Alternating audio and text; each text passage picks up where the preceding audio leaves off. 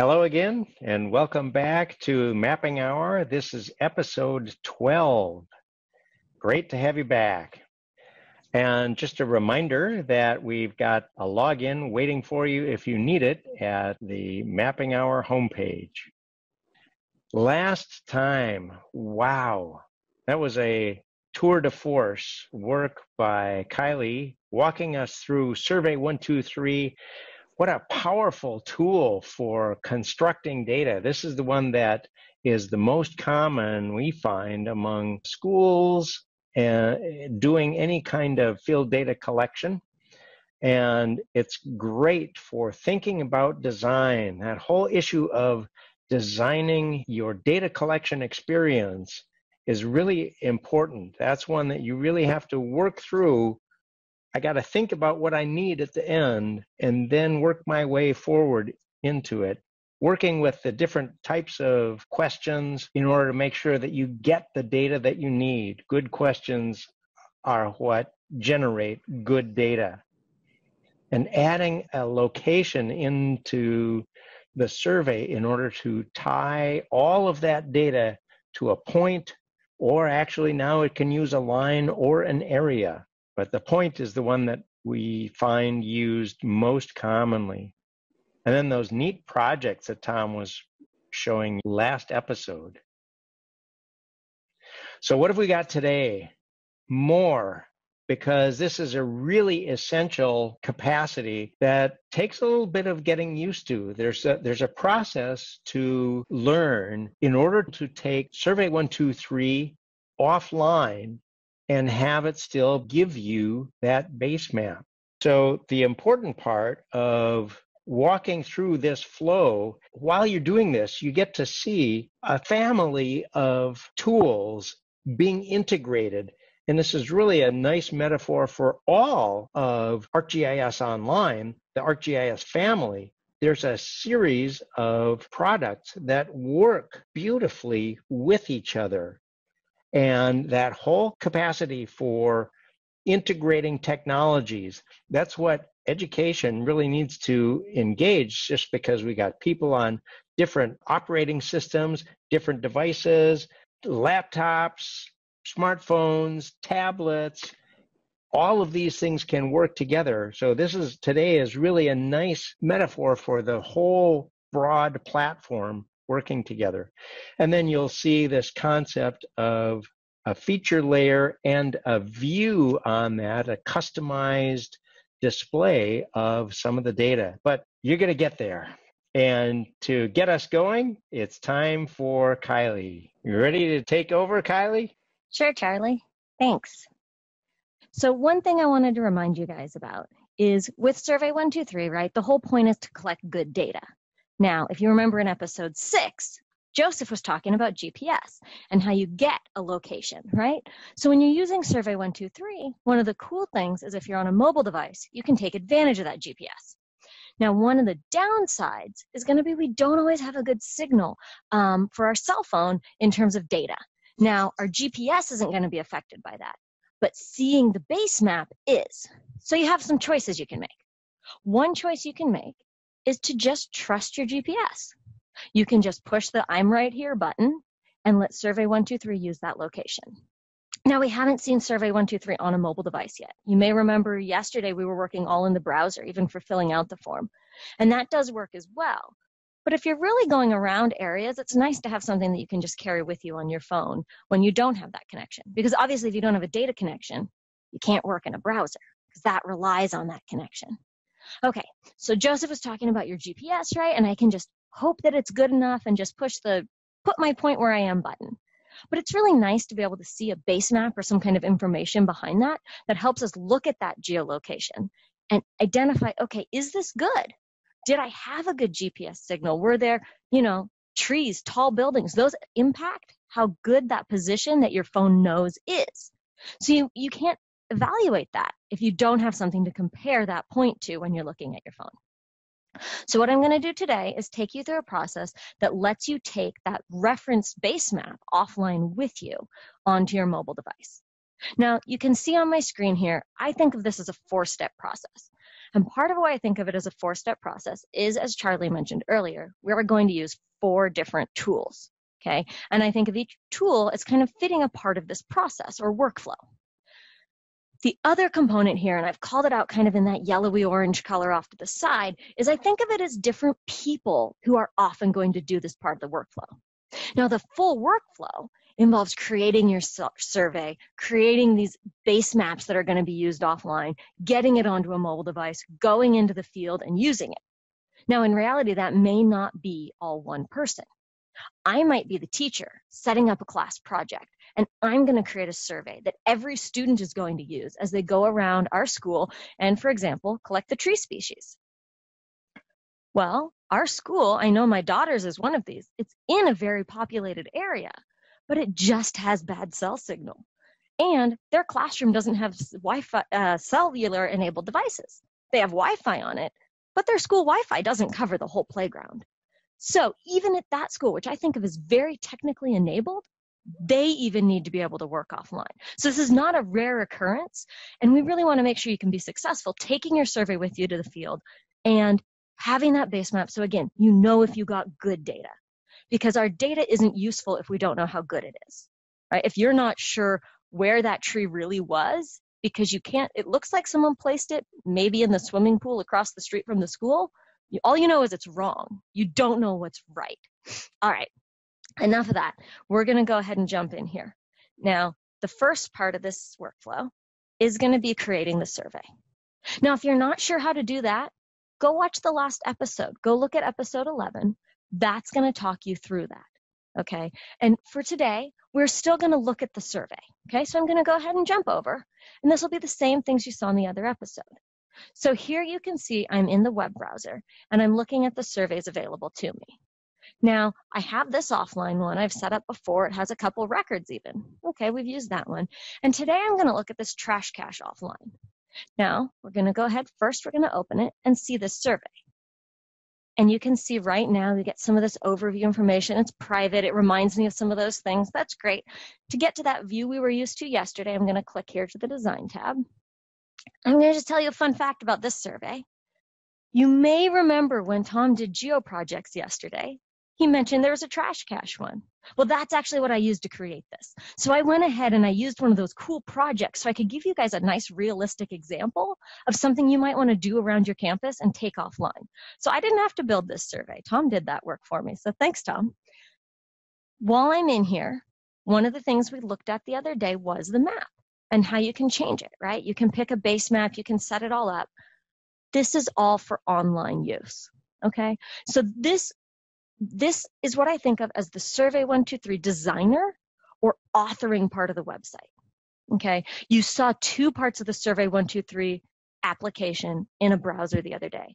There was this authoring experience, and there was also the filling out experience, right? When we'd go to preview and we'd look at what the person would see as they were filling out the survey.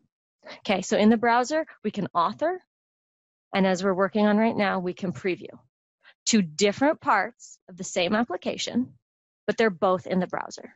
Okay, so let's go ahead and close that on out. So right now, what we've done is that first step. I'm going to jump over to the slides and just, it's just what we were looking at yesterday. Use the web app because that's a great interface for designing and creating your survey. Start there. Make the survey you need, just like we did before. Okay, now it's going to start to get a little bit more tricky so hold on, we'll get there. All right. The next thing we want to look at is this concept of offline map areas and creating map areas. Now, this is something that's part of ArcGIS Online. Survey uses it, other applications can use it as well. So the way we're going to do this is we're going to go into ArcGIS Online and we're going to do some work there for this step. All right. So I'm going to go ahead and switch tabs. Right now, what I'm jumping to is in my organization, and I've gone to my content. You may remember this from earlier episodes, right? Nothing I'm doing here at first is going to be new to you. I'm actually going to start just with opening this web map I made the other day so that you can get an idea of this map. So in this map, I can see some metadata. Okay, it's an imagery base map for Redland schools to use offline. Okay. not shared too interestingly right now. I'm to go ahead. So I'm opening this map I made the other day. And let's look at the content tab. All right. All I have here is a base map. Now, in this case, I have the imagery base map because that's the one I find really useful at a school when I'm working offline. I mm-hmm. find, especially with children, that it resonates really well to have that imagery and be a real world picture. Like, I personally, like, I know Joseph kind of likes those USA topo maps, right? They're fun for me, but for a child, they don't help associate where I am looking to a physical place on the earth in the same way imagery does. And so often when I do this workflow, it is the imagery base map that I'm going to use. Now, you may have a different base map that you've been using with your class. Great, use that one. Today, we're going to stick to imagery. So when I'm in here, I can see that I have a base map. That's most of what I have here. The only other thing I've set up is some bookmarks. So I made some bookmarks for different schools. Okay, and in fact, I'm going to go ahead and add one right now. So I'm going to find, there's one school I've left out of that list. And here we go, McKinley Elementary School in Redlands. So what I've done now is I've just zoomed to that area. You can see the school right here. There's another one of our local schools. I'm going to go ahead and add a bookmark. And to do that's pretty easy. I just click Add Bookmark. And I give it a name and hit Enter. Go ahead and save those changes so that I have that available. And there's a reason I'm doing these bookmarks, and it'll become clear in just a moment. So now I have a map and I have some schools. I can go look at Mariposa Elementary. Joseph's going to love this one because we're right where two tiles intersect. Now, it's actually a great time for me to tell you about something. This base map is made up of tiles. Okay, so there's these pictures, and you can see right here, you can picture that I have taken two pictures from the air of this school. And I went and I printed them at my local print shop, and I got back my two, say, three by five pictures, right? And I've set them next to each other. Now, the store happened to print them on different printers. They look a little bit different, but they are still showing the same places. And so that's this line you see in the middle. It's because it happens to be where two of these pictures, often called tiles, meet. So just think of them as little chunks of pictures, right? And we've taped them all together on the back to make one bigger image.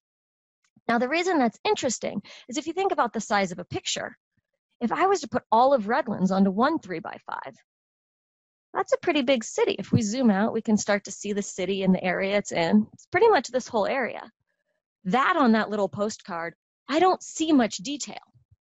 But if I now take this and instead of printing all of Redlands on in one three by five image, I go back to Mariposa and I've printed this part of Redlands onto two pictures. I can get more detail in because each of those pictures goes outside the bounds here. I'm not seeing the whole thing. If I move the map, you can actually see another edge. Right? So picture these tiles that way. It's a picture of Redlands, and the amount that fits on each of my three by five pictures is going to be different based on how zoomed in I am or how much detail there is. So tiles are done that way when you're looking at imagery online. When I'm zoomed really far out, I'm seeing that one three by five that has the whole city on it. And as I zoom in, I'm not looking in closer at the same picture. I didn't pick up a magnifying glass. I've moved that three by five off my pile of three by fives, and now I'm looking at two that are next to each other that have more information. Okay, now hold on to that because that does play into how we're able to go offline. So just remember, we have this stack of pictures, and in each picture, as we move one off the top, there's more detail below. And think of that as how we're zooming in here, okay? All right, so we've made some bookmarks, we've made a map. The next thing we need to do is create areas that people can take offline. Now, the way I'm gonna do that is actually back in the My Content view. When I go in here, I'm going to take that same map and go to its item page. We showed this in earlier episodes. That, that process is kind of familiar, right? This is where you came to see metadata. Now, in the settings over here, this is where I can do some of this powerful stuff with making areas. So I'm going to go ahead and go into the settings. And you can see here there's an offline section, so I could click that or I could just scroll down because I see it right here as well. I'm a scroller, so I'm going to go ahead and scroll down. All right. Maps can be taken offline if they meet certain qualifications. So you may not see this section at all. You may see it disabled. When you've just put a base map, and especially the Esri base maps into your map, we've set those up to work offline. So you'll be safe here. If you're making your own base maps, if you have other data in your map, that might get a little bit tricky. And you're going to have to pay a lot more attention to what can and can't go offline. But for this workflow, all I want is that base map. So I'm pretty safe. The important part here is this section, map areas. Okay, I don't have to do this, but I can create map areas ahead of time to package data. All right, let's go ahead and check that out. I'm going to jump into the Manage Areas experience. Now, this isn't the map viewer, but it looks a little bit similar, right? What this is, is just a special little app that helps us create these areas to go offline. Now, if you remember, I was talking about that imagery as being like a bunch of three by five pictures, right? And what I'm actually doing with this tool is I'm picking a stack of those pictures that I care about and I'm wrapping them all up together to make it easy to put them on my mobile device. And that's how I'm going to take it offline is I'm going to create this special bundle of those pictures and put it right on my device so that I'm not going over the internet to get that picture. That picture will be on the device. All right, so if you remember when we looked at my map, I had four bookmarks. And these were the four. So you can see these four schools. And what I've done in this example is I, I'm pretending that this trash cache project I'm doing, I want all of the second graders in Redlands to get to participate at their own school. So I don't know exactly which school the person filling out the survey will be at. So I'm setting it up so that people at any of these schools can be successful with my survey. If you remember back to my slides, and we'll go back to them, right now I have my survey author hat on. I'm still setting this up and authoring it. I'm the teacher the person, maybe I'm a student creating this for different schools to do, right? But right now I'm I'm the person in charge of how it's defined, defining the project area, the scope, all of those things. All right, but I did make a new bookmark. So we need to add a, an area for that. And this is the process you would do if this is one of your own maps and you don't have any of these map areas. Whether you're creating your first map area for this map or your 50th, it's the same process. So I wanted to have some in here so you could see it. Let's go ahead and add that new one. Now, there's a reason I used bookmarks, which is that while you're in this interface, you do still have access to those bookmarks. So in particular, I can click right here and see my bookmarks. So I know which one I want, and I'm going to go ahead and pick McKinley Elementary because that was my new one. And I'm taken to right where I want to go. At this point, I need to go ahead and create a new area.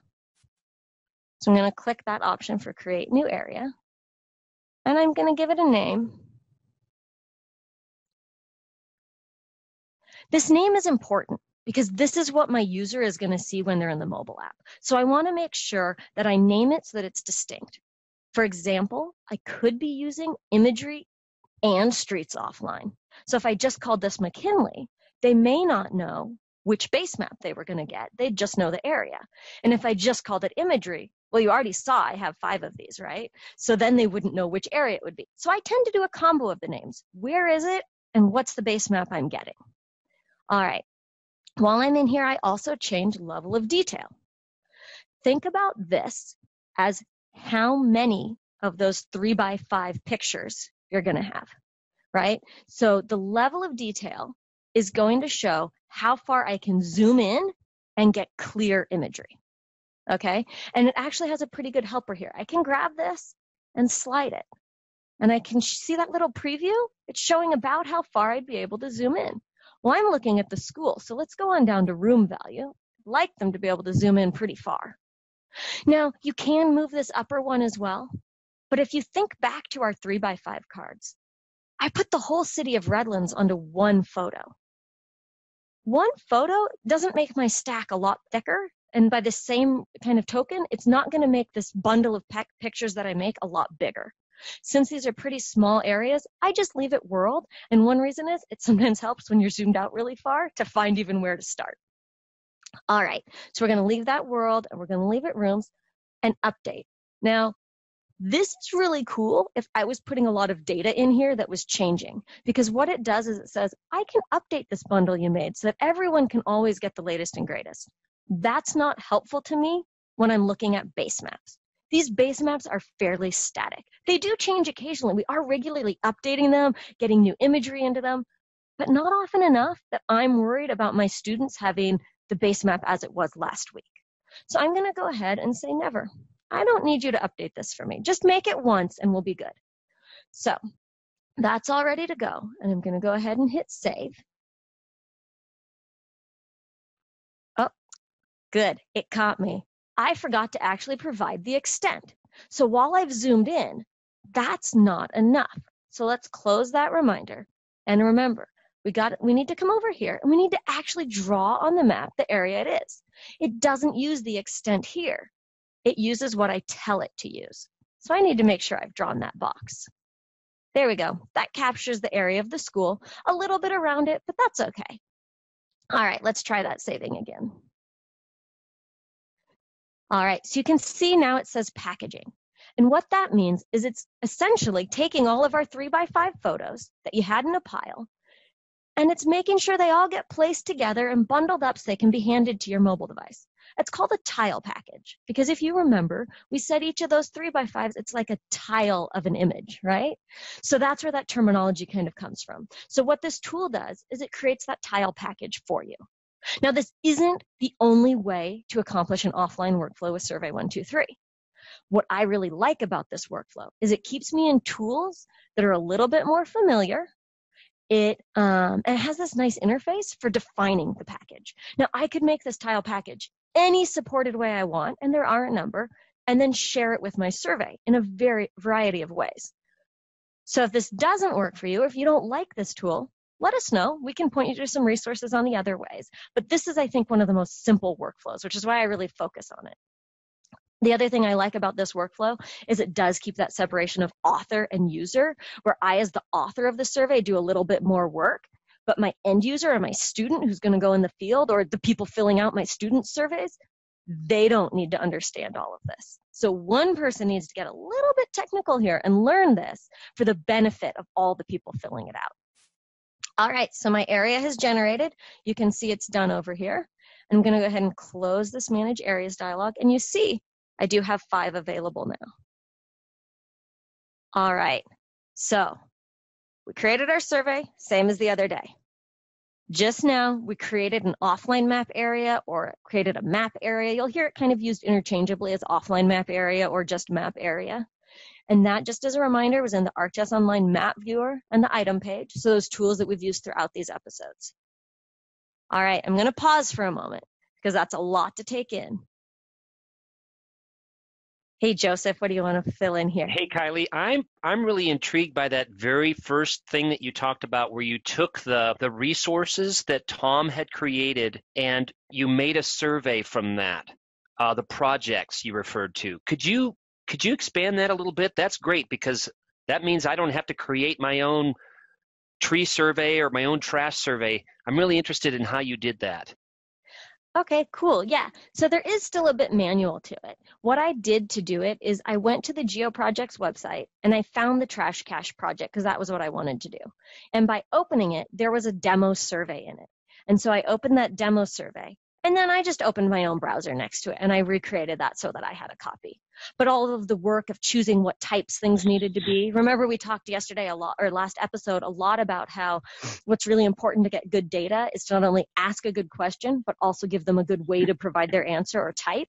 So I was able to benefit from all the work, thought that Tom had put in in designing that survey. So you put Tom's trash cache survey and then you created survey 123 side by side and you looked at his template and you modified it perhaps, but you basically used what he had. That's yep. awesome. Thanks. Yeah, it was a great jump start. I didn't I didn't want to come up with another survey, but I really wanted to show something interesting and realistic here. All right. So, Charlie, what do you got? My question is about when you said, "Hey, I like to use the name of the place and then the base map." And that made me think, boy, I would like to have a second base map in there. is there a way as you're creating that tile package to swap the base map? Sure. And I'll actually show you my favorite tip on how to do that. You notice I use bookmarks, right? And part of why I did that, I'm going to jump back over to this other tab and I'm going to go back to the overview. Of, we're still looking at my map, right? So what I've done in the past is I've gone ahead and opened this map in the map viewer. I have my bookmarks set up. I know the areas I'm interested in. And what I'll do is I'll change the base map for it. And say I want to also make tile packages for the streets base map. So now I've got my streets base map. And what I do here is I do a save as. Okay, and when I do that save as, I can take this name and instead of having to be the imagery base map, we can do the streets base map. And I need to make sure I update my metadata as well. And I can save this map. So what I've made now is a new map but the work I did on setting up those bookmarks, I know I'll be able to create areas for the same way. So that's kind of the way I do it. You could take the same map and change the base map, but then if you ever do need to go update those packages, you have to remember which base map to have as you update each one. And I found that became a little bit too taxing on my memory. I would rather have two maps set up and ready to go. So now if we go ahead and we wanted to, we could go into the item page for this new map and you'll see we have very similar tools to what we just did. We can go into the settings, we can go to the offline area, and you can see we don't have map areas. So those map areas are not part of what is saved over because there's a reason I've created a new map. There's something different. And so we don't want to assume that you want those same tile packages and we've left it up to you. But I can come in here and I'll do this really quick just so we can see another one and we can create an area. And I'll use McKinley since we're already right here. I can drag my box. I can give it a name.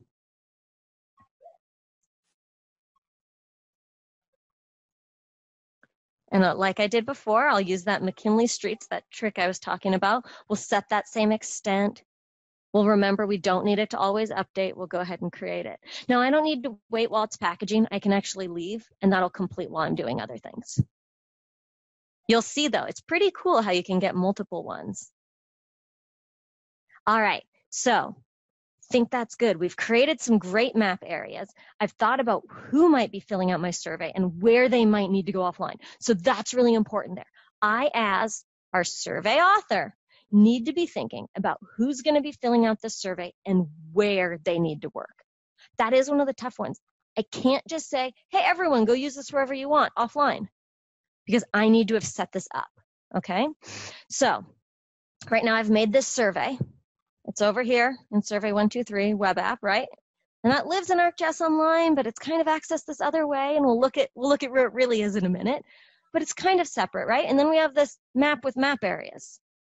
They don't know about each other right now. So that's what I need to fix next. Okay. So the next thing we're going to do is we're going to tell the survey about those map areas. And we're going to use a new tool to do that. And that's called Survey 123 Connect. Now, this is a desktop app that's a freely available download that you can get through the Survey 123 websites, but it is only supported on Windows, Mac, and Linux. So, not on your Chromebook. So, if you have students doing this process, they may need to work with you on a laptop. Often the teacher might have a full laptop, even if the students don't. If you're only on Chromebooks, talk to us, and there are some other workarounds, but the majority of times we find that someone has access to either a Mac, a Linux, or a Windows machine. Okay, so that is required here. And I'm going to go ahead and bring that up, app up now. It's a little bit different interface, but there's similarities, right? Okay, we recognize these things. I'm going to go ahead for a minute and jump back in the browser to the list of my surveys. Okay, treasure hunt. We can look at the pictures, right? There's four that are all by me. And down here, there's another one, but Tom made that one, so it kind of makes sense. I don't, I don't have authoring. I can't edit that one. There's no little pencil. So what I see in Connect is the things that I can work with and edit. Now, this one shows dots. These ones show download. That's because although I've made these surveys, I haven't worked with them in Survey 123 Connect. So in order to work with them in Connect, the first thing I need to do is download that survey to the computer where I'm using Connect. I did this with Treasure Hunt offline because, again, offline, using this app is a key component of setting it up. Okay, so I'm going to go ahead and click that download button. And it says I don't have it on my computer yet. And that's really key here. I'm getting a local copy of this. I'm pulling down information about this survey. Yeah, great. I know I need to use it here. So let's grab it. Okay, now I've got it on my computer. We can see it's got the dots as well. And I'm going to go ahead and open it. Survey123 Connect is actually a full design experience like the browser was. And in fact, there are some advanced things you can do with your surveys in Connect that you can't do in the browser but it's a little bit more complicated to author for. You can notice here there isn't that same nice drag and drop interface. And in fact, we're not going to get into this a lot right now. There are other resources that can help you with it, but you author through using an Excel spreadsheet. And the way you set up your spreadsheet and your tables actually creates the survey. Well, that could be a really powerful, powerful lesson on its own, looking at how a spreadsheet can turn into a survey, right? But not right now. Right now, I just want to get my job done. So in this case, all my authoring was done in the web app. What I'm going to do here is go into the settings for this survey. Because right now, what I want to work on is the offline setup of this map. And one of the things I can do in the settings is I can look at all this information. You can see here's the GeoCat, the Geo project that I used in my metadata. I put a link to it in case someone else would like to do the same. And there's linked content. Now, what linked content is, is it says, hey, there's other stuff I might want to use with this survey. And there is. I want to use that base map I just set up. So I need to tell this survey about that base map. So I'm going to add a map link. And you can see in here, I'm getting quite a list. Here's um, one of the maps that Joseph made in an earlier session. Here's Charlie's Three Places map from a few episodes ago. Oh, look, there's the map that Tom and Charlie made together. So you're going to have access to all of these web maps that you have in your org, right? These are all things that are shared with me through various groups I'm a part of or with the organization as a whole. In this case, I want that streets base map and I want this imagery one. So I'm going to start with the imagery one and I'll say okay to add it. You can see it's been added in here. I'm going to add another map link and I'm going to pick the streets one because as Charlie mentioned, sometimes we do want to. So those are both added in here. All right. Now, I've noticed that this is pretty much all I need to do to set up. So I'm going to go ahead and I do like to publish my survey just because I feel better, like I've committed these changes. I don't believe you always have to, but when I make changes, I just like to make sure I have the latest and greatest updated. And also this way you can see similar things as when you publish from the browser, right? It updated different things, it completed. You're seeing some of that same information. The same pieces are worked with. And in fact, if you notice, let me jump back here, my picture right here, my picture right here are the same. So right now I'm signed in in the web browser and in the app as the same person. Okay, so that's why I could see this content. That's how I can work with it. That's how I saw those maps. This is a signed in experience, and I'm working with that signed in. All right, so what I needed to do here, I needed to download my survey and I needed to link it to some content. Okay, we came in, we went to the settings, just because this app is a little bit new and complex, just a really quick refresher of those key buttons. I do find settings sometimes takes a minute to open because there's so much information with this map, so just be patient and then jump on into the link content. Whoa, what's happened here? All right, so you can notice it was able to tell that this web map of imagery had a Mariposa imagery tile package. And look, here's the McKinley one we created together. So even those, those even though those didn't show up at first, because of how they were built as part of that web map, by linking my web map, I've linked my tile packages. And if you remember, that was the key, right? I needed that tile package, that bundle of those three by five photos that I could put onto my device. So my survey now knows about them. And let's scroll. Okay, we've got the Mariposa, all these schools and all their packages. Okay, now I'm not seeing the streets one right now. There are two reasons that could happen. One is I missed a step because we threw that in. And the other is that, like you saw these appeared after time, it just hasn't finished refreshing. Maybe it hasn't even finished packaging, right? If you remember, we didn't wait for that to all complete. So there could be a couple reasons. At this point, I wouldn't worry about it.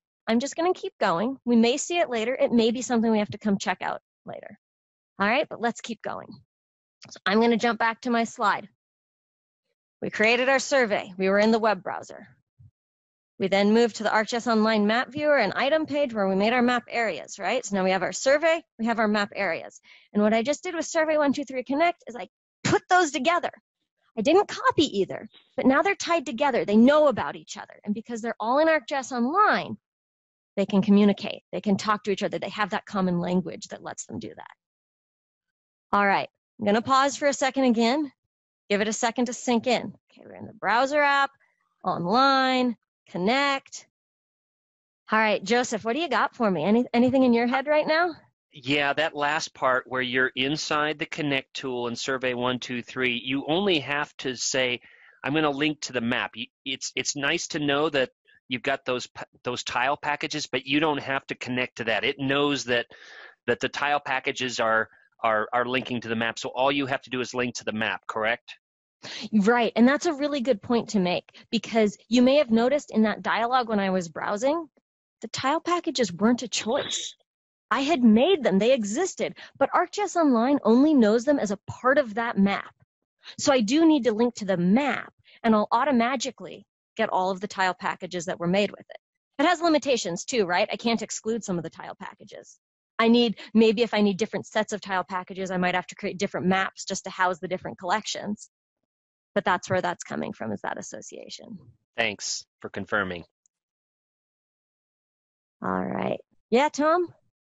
So before we talked about with ArcGIS Online needing to have publisher permission to do a bunch of work, it, do we only need publisher permission still, or are we moving into more advanced things? This is still just publishing. You're creating these tile packages and you're setting them up just as you would other content right? One thing I didn't show here, you will of course need permission to share if you do want other people to be able to access these map areas.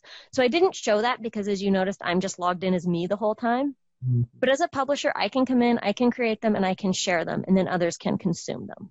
They do need to be logged in, though, to use these. Gotcha. Thanks. Yep. All right. We've covered three tools. Might as well go to another one. So what I'm going to do now is we're transitioning a bit, right? This whole chunk here, who's doing the work? Survey author, right? Now I'm going into a mobile app. Okay, let's check it out. Now, I'm going to bring that up. I'm going to minimize the slide just so it's not distracting you right behind there, and I'll minimize Connect, just clean this up a little. What you're seeing here is my Android phone. Now, I have it connected to my computer through a cable right now, and I'm using a program called ApowerMirror, as you can see that watermark on the screen. What that program does is it's just taking the exact screen I see on my mobile device and putting it on my PC screen so that I can share it with you guys as part of this call. You can do it in other ways to bring it in. I could have joined the Zoom call from the device and shared the device's screen. This was just simpler. It's also a great tool if I wanted to be able to show my classroom, for example, how to work with this mobile app. There are ways, it's a free app that you can download and share your screen. So maybe I'm standing in front of the class now and I don't want them all having to see my phone screen because it's pretty small. That this is a tool to use. One thing you'll notice it does have this watermark, which you can join a program and remove those watermarks. I've chosen not to do that at this point because this works for my purposes, but you will see that watermark in some of our screens. So here's the Survey 123 app, and I'm going to go ahead and open it. Well, where's my survey? So we haven't used the mobile app a lot, but the way the mobile app works is it doesn't show any surveys the first time you open it. I have the treasure hunt offline because I've used that one before. As you saw, I've done the same workflow before. So in Survey 123's mobile app, you click on your, your little icon. This is me logged in again as that same person, my K12 org account, and you need to download the survey you want to work with. So by default, you'll see nothing in this view. You'll click over here and you'll be able to download that survey. All right, now I'm seeing tons of things. Wow, I'm seeing all these surveys shared. I see walkability one I know Joseph did some work on. I see the ones I did. I okay, cool. Well, here's my trash cache offline one. I know that's the one I want today. So I'm going to go ahead and click the download button here. That's downloaded my survey. Okay, if I go out of this experience by clicking this back arrow up in the corner, I'm going to leave downloading surveys and go back to using them. I've got two choices now. Okay, great. My survey is now on my device. So I can come in here and I can open the one that I want to do. All right, I can see my information. I can see when it was last created, modified. I could go jump right in and collect. And that's great. Here's my survey. On a phone, I can see a map, but you may notice I also have reception right now. I'm connected. So let's go ahead and close out of this. And I don't need my changes that I've made. What I want to show you guys is also how to work with this offline. So if I'm connected, you just got a little sneak peek. The mobile app works connected, it has a map, right? I'm sure you could kind of assume that in a connected world, this is all just fine and happy. Okay, the offline world, what we need to do is after we've downloaded our survey, we open it. So we're looking at kind of the details page about the survey and where we can jump into collection. Up in this little three line menu, there's a great name for it. I often hear it called a burger menu because it looks like the two buns with the meat. I just think that's a great name. So I'm going to go ahead and click the burger menu and offline maps. That's what I need. If I want to work offline, I need to take those map areas I made and put them on my device. Right now I've created them, I've said, hey, survey, here's map areas. You guys know about each other. But they're still not on this phone. So I need to go on into those offline maps. And it takes a minute to find them. But look, here we go. All right, and I can think sometimes the way this screen mirroring software works, it doesn't quite load all the icons. You'll see some of those download icons are missing. Just picture them along with me. They're download icons. Sometimes I can go out and come back in, and that'll fix it, but sometimes it doesn't. Yep, this time it did. All right, great. So we've got our download icons. We can see the different areas. And for example, if I knew what schools I was going to work at, I could download the one for that area. I could download the one for another area. Now you'll notice the streets one that we had talked about, it isn't here right now. So I would have to go back and figure out, I'm sure it was just a demo error. There's something going on there, but it's not any different than these others. So for now, I'll just focus on the imagery. And I'm going to download two different ones so that we have those available. All right, so I picked the ones for the area I'm going to work at. Maybe I'm someone who goes to both Smiley and McKinley. Maybe I'm a parent with a kid at each one. Okay, so I've got my areas that we need to use offline. I can jump back out of here. Now, here's a trick. Right now, you guys don't know if I'm offline or not, right? And since I decided to project my screen onto my computer and I'm not relying on my phone to be on the Zoom call, I'm actually going to take my phone right now and pull down some settings. And I'm going to go into airplane mode. I'm sure you've all used airplane mode, but just in case someone isn't sure, what that does is it says, I don't want cellular connections. I don't want Wi Fi connections. My data connection is turned off. Now, as I mentioned earlier, this doesn't affect your GPS, but it does affect those other parts of data, like your base map. Okay, so now my phone is offline. What I can do now is go on in and collect. And we can scroll down and we can find our map. And look, did you notice last time it looked kind of like that streets map? And now we've got some imagery going on here. If I click on that map, it actually zooms in to that imagery. Now I can go in here and place my point by clicking on the map. I'm not sure where I clicked there, sorry. Sometimes my finger is a little bit jumpy. So I can always hit the home button, get back to what I need to see. I can go in and I can change base map. Remember, we talked about sometimes the tools look different. And I, remember, I think it was Joseph even said this weird little four panel thing that looks like four little maps side by side. That's your base map switcher. Well, so guess what it's going to do here? Look, I can pick Smiley I can pick McKinley. So those things I downloaded, I have available and I can switch between them. So imagine I had Charlie's McKinley Streets downloaded as well. I could choose the McKinley imagery. I could go to that location. My finger is being a bit jumpy today on trying to zoom this on a phone. So I'm actually going to pick up my mobile device. So you're not going to see the little hand moving correctly. I'll get it out of the way and I'm just going to zoom in working with my phone. The cool thing with this app is it doesn't matter whether I use the computer to interact with the mobile device or the mobile device itself. So I'm just zooming in using a little pinch and stretch with my fingers on my mobile phone now. And here's McKinley School. And you'll notice as I zoom in, it's getting really clear. That's because of that size I said. I wanted to be able to get down to the room level. I want to be able to collect those trees. Now, interestingly, if you remember, my area that I said I wanted to take offline was about that big.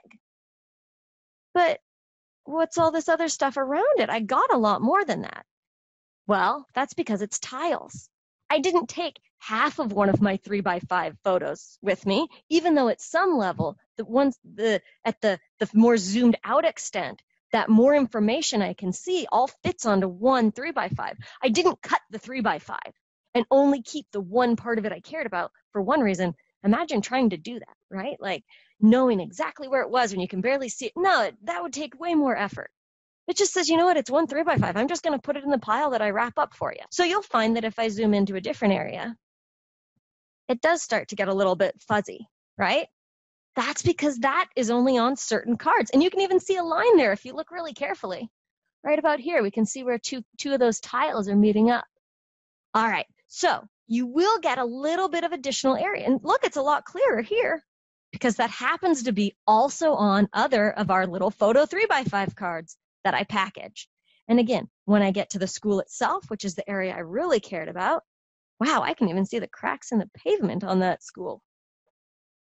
Okay, so I have this great imagery. You can remember I am offline. You can see the little airplane up there. My phone doesn't have a connection right now, a data connection. It's plugged into my computer, but only for display. It's not actually reading that. And that's why as we zoom, we saw it got fuzzy. And if we zoom out, look, there's the edge there's the edge of the tile that I took. So this is the region I got, right? Even though I said McKinley. All right. So things that we saw in here. Let's go ahead and go back. And I'm going to go, that was leaving the map. And now I'm actually going to leave collecting that point. And in this case, I don't need to save the work I was doing. I could if I wanted to. And in Survey 123, I could collect 20 different points right now, all while offline. And then after I'm back in the classroom and have a better connection, then I could submit them all. So I don't have to just do one point. I can do all the work I need to do while offline. And that was because we, the reason we could see the base map while doing that was because I came in here and look, I can't get more offline maps. Anyone know why? All right. The trick is that little airplane, right? Like, how could I? Yeah. How could I download a new map when I have no data connection. So on my mobile device, I'm going to go ahead and open it up, turn off airplane mode so I have a connection again. Now when I click, okay, I can get more of those offline maps. Say I needed to add another school. Say I was done at one of the schools I already had. It does take up space. You can see it's about two megabytes of data. I'd go ahead and delete it. Now, when I do that, it's a little hard to read this message with the watermark and the overlay, but that is saying I'm deleting the map package or the tile package from this device. I'm not deleting it from the map. I'm not deleting it from ArcGIS Online. I'm not deleting it from the student at the next desk who's also using it. I'm just taking it off of my phone because I don't need it anymore. Okay? So let's go jump back up to our slide. All right. So we made it. We made map areas. We linked them together. We said, you know about each other. And then we picked up our mobile device. Here's mine. I can't lift it too high because it's still plugged in in case we need it. And we took that map pack and we said, go in here. Go live here.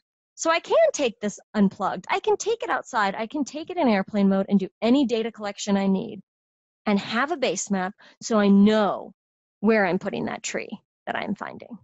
So with Survey 123, you can take it offline, you can do all this work, you made all these things in the browser, and I mentioned at one point in there that these were in ArcGIS Online, right? They have a house. Let me jump back into here and let me just go back to my content.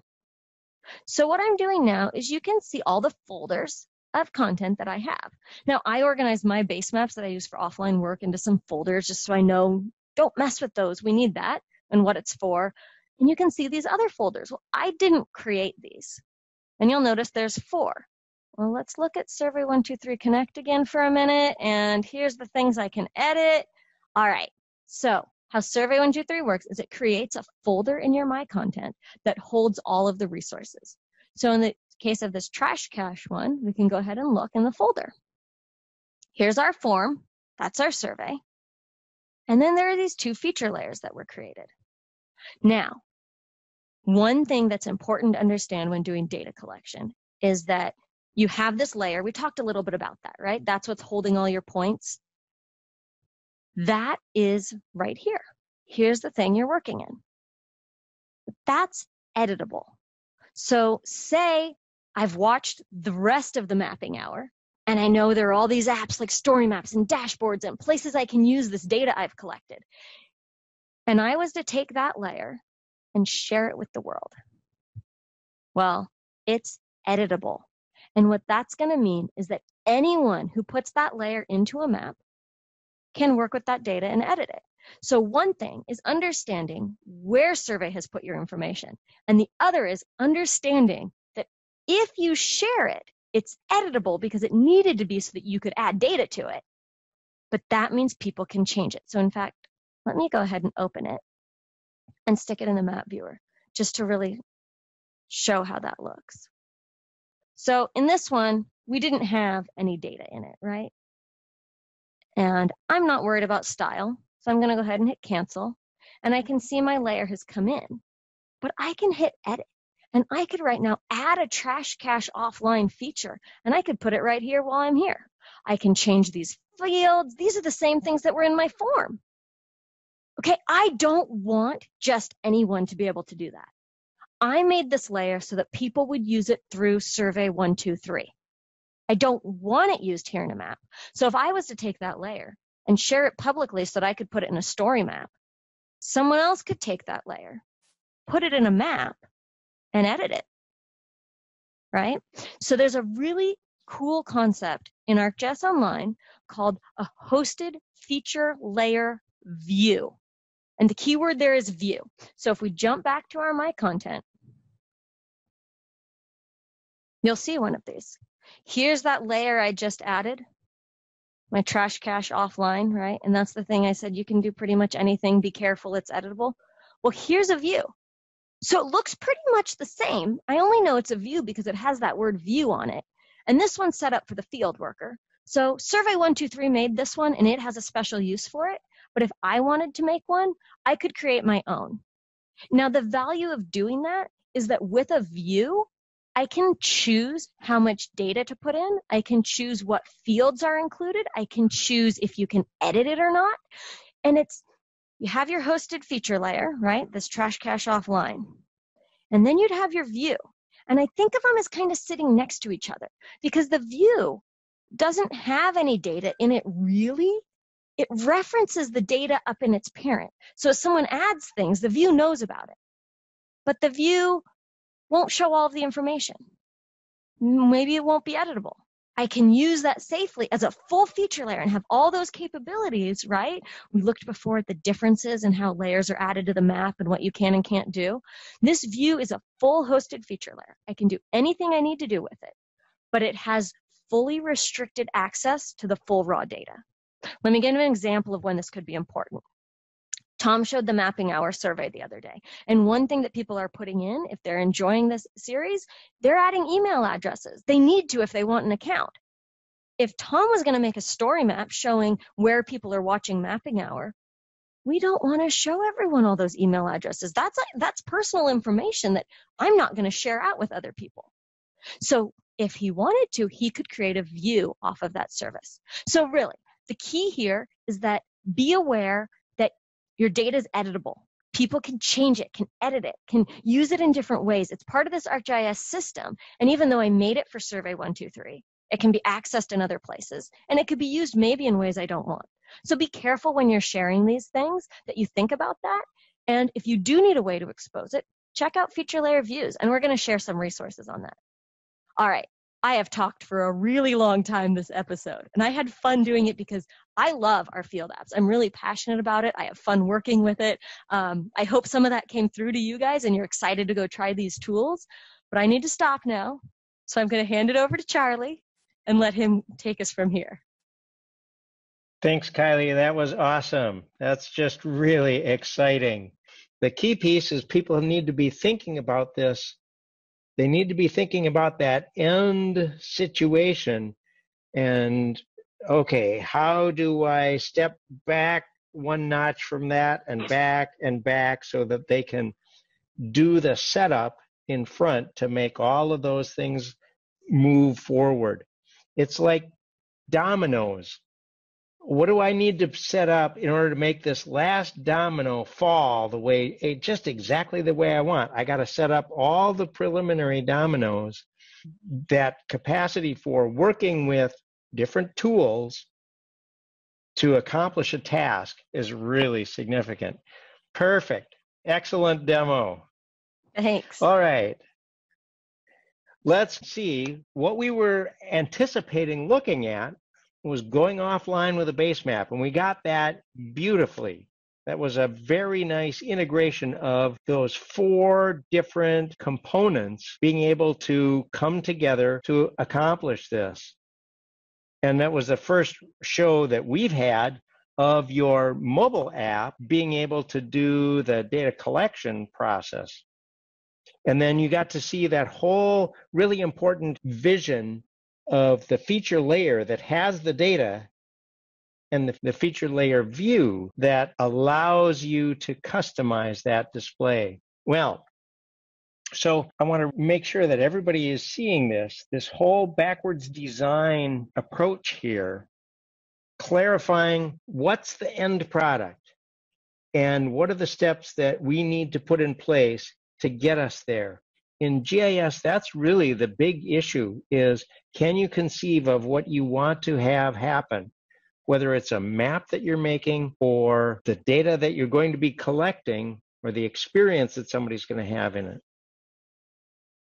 There is, for many of these things, a workflow, a sequence of steps that you follow. And it takes a little bit to get accustomed to each workflow as you're going through a process. But once you get the concept that are that you need to have in a workflow for something of this type, then you can do all kinds of projects of that type following that same, it's sort of a template of actions. And this nice integration across the platform, the tools work together both across operating systems, across devices. It's ArcGIS Online is the central coordinator for all of these pieces. The Survey 123 family, these tools work together, and people who know how to do this, they can have more power just by being able to take advantage of this ability to work across these tools. Those tile packages are really neat and the feature layer view, that custom exposure, it, it allows you to be safe. It allows you to have the right kinds of permissions going to the right people. And so there are some resources. Much of this is what we had in episode 11, but we've added in here the help file to look at hosted views. And then we've added in a playlist that is the Survey 123 playlist for videos. There are a number of videos that are up on uh, YouTube focused just on Survey 123, put together by the Survey 123 team. So all the rest of these are just like you see in episode 11, but it's really useful. And if if you jumped into episode 12 and don't really have survey 123 in your mind, just go back to episode 11, which you'll find here at the mapping hour. And that's it for this episode. Wow, the power everybody's going to have access to. Thanks for being here. Bye bye.